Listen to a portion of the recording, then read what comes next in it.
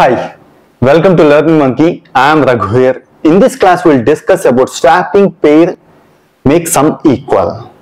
So the explanation here is completely based on the assumption that you already have some basic coding knowledge. If you are not good at basic coding, please visit our website learningmonkey.in, take the course placement training for service-based companies, then come for the competitive coding. Coming to today's class, let's understand the example given two arrays of integers of size n and m. Two arrays are they are going to give you the, the elements in the arrays are n and m. n elements, m elements. Our task is to find a pair of elements. We need to find a pair of elements, one from each array. So we have to take one from each array such that swapping the elements will make the sum of elements same for both arrays. With example, we are going to understand it better. n is equal to 6, m is equal to 4 means 6 elements, 4 elements. The elements are a is equal to 4, 1, 2, 1, 1, 2, 3, 6, 3, 3. So we need to identify a pair of elements each from uh, one from each array. Suppose if you take 3 from here, if you take 1 from here. If you swap these two elements, means place 3 here, 1 here. The summation should be same for both the arrays. So let's try to understand. Initially, what's the summation? 4, 1, 2, 1, 1, 2. Sum is equal to 11. For B, sum is equal to 15 if you place if you if you take out 3 from here and place it here if you take 1 from here and place it here what's the summation values 1 3 if you if you swap this pair this is what you are going to get 13 13 sum is equal so there exists a pair by swapping those pairs a pair of elements you are getting the summation value equal. If this happens you have to return 1 otherwise return minus 1 that is what the output uh, you have to provide. Here output should be 1 so in order to uh, in order to do this example we are having two different ways to do solve this example. We are going to explain both the ways. So one is using hashing and one is using uh, from the basics of merge sort logic uh, by sorting the elements we are going to do uh, in the first logic uh both are equal both are useful because if you understand the way how we are solving these examples this may help you in remaining examples to apply this type of situations in remaining examples. That's why you have to understand both the ways so coming to the first way first way is take this example 4 1 2 1 2 and 3 6 3 this is the a and b elements. And the thing is you need to sort both the arrays. If you sort these array elements so first we will do sum 1 means summation of all these elements is 10 sum 2 summation of all these elements is 12 so after sorting the elements the elements will be like this 1 1 2 2 4 3 3 6 uh. so now the logic goes like this. See after sorting the elements see 1 we start from here the first position ith i we take a variable i we take a variable j.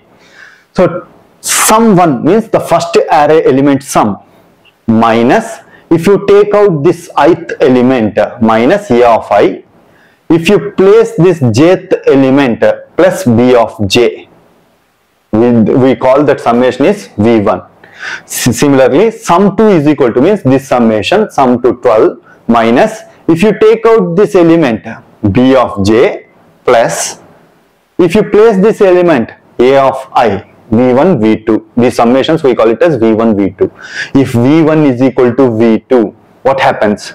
There exists an element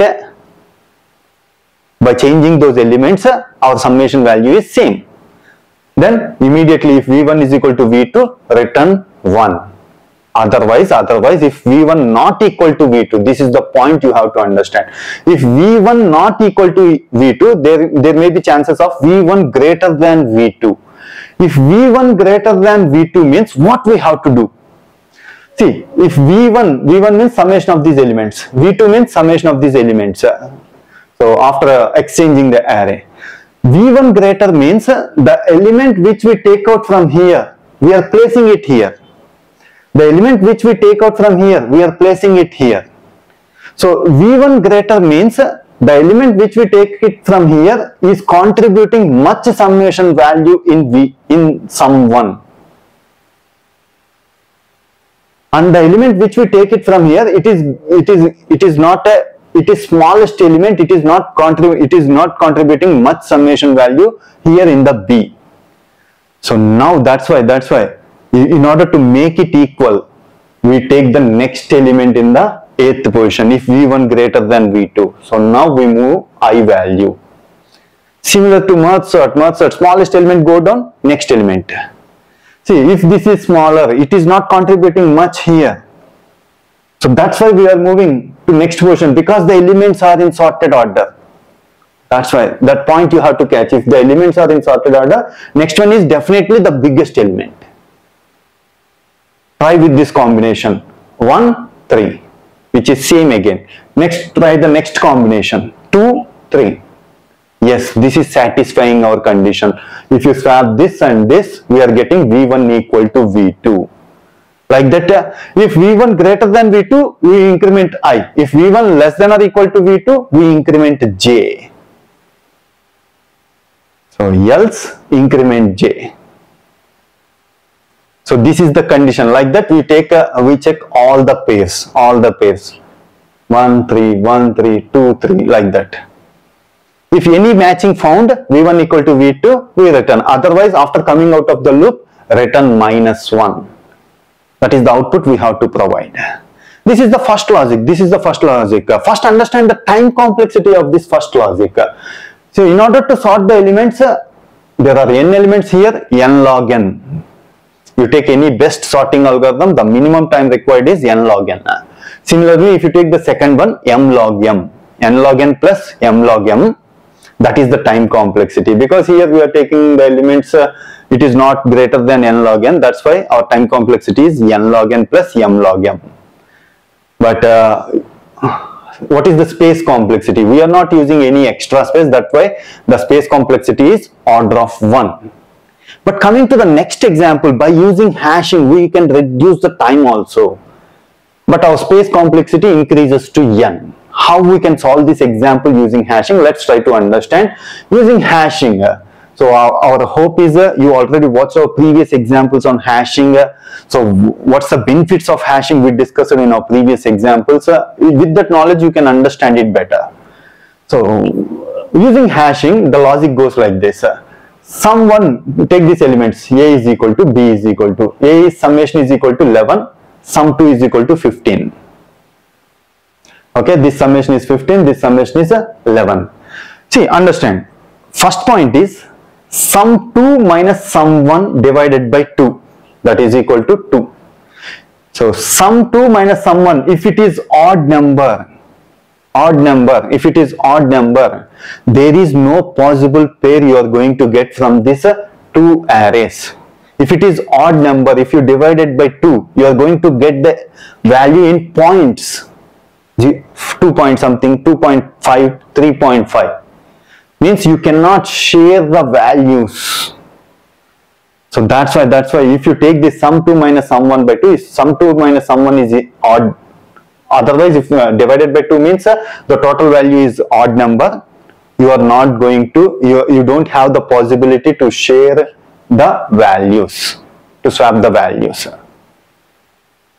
So that's why that's why if it is odd number, simply return minus 1. If it is even number, there is a possibility. So that's why we need to check step by step uh, by using hashing technique. How we do that, let's try to understand.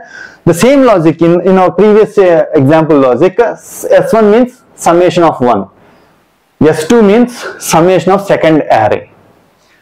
Here P means the element that we are considering from the A array. P means element from A Q means element from B. Sum 1 minus P means we take out this element from A plus Q means you place an element from B. If that happens, that should be equal to sum 2. You take an element from B and you place an element from A. That is S2 minus Q plus P. If these two are equal, then we can say that this pair exists so that uh, the summation value is equal. see, from this equation we are getting that uh, if you exchange S1 here and Q this side, 2Q is equal to S2 minus S1 plus 2P. q is equal to s2 minus s1 by 2 plus p. If this equation, if this equation satisfies, means q is element from b, p is element from a. So that's why, that's why we are making a second array. q is element from b. That's why we are keeping a hash table for second array. Hash table for second array. What is our second array? 3633. If you maintain a hash table, what is this? 3. How many times? 3 times. 6. How many times? 1 time. If you maintain this hash table, what is the logic? Which way we will go now? Take an element from A. This is, these are the elements from A. Take an element from A. Substitute in this equation. You are going to get Q value. Take an element from A. This is P value. Substitute in this equation. You will get a Q value. If this Q value exists in hash table, so you are going to get a pair. Otherwise, no. Take the next element, substitute in this equation, you will get a Q value. If this Q value exists in here, yes, there exists a pair so that you can exchange them and you can get a summation value equal to, both the summation values are equal. Like that you check for each and every element. First one failure, second one failure, third one failure, fourth one success. Assume, for simple. We are explaining something. We are not exactly saying that first one is failure or not. If first one failure, second one failure, third one failure, fourth one success. There exists a Q that belongs to hash table. Stop it here, return 1. So this is how using hashing. So what is the time complexity here? In order to identify the summation of both the arrays, n, m. And if you want to take the elements one by one and check the values from the, apply it in this equation and check the values from the hash table, order of n. In order to maintain this hash table, order of m. So space complexity is order of m and time complexity is order of n. So we can reduce the time complexity by using the hash table. These are the things you need to understand so that you can apply these things in the remaining examples. Hope you understand this example. If you have any questions uh, regarding the concept, anyhow the coding is provided in our website learningmonkey.in. You can copy the code and you can execute the code. Both the codes are available in our website. If you have any questions regarding the concept, please post your questions in the comment section below. Thanks for watching. If you haven't subscribed to our channel, please subscribe to our channel and press bell icon for the latest updates. Thank you.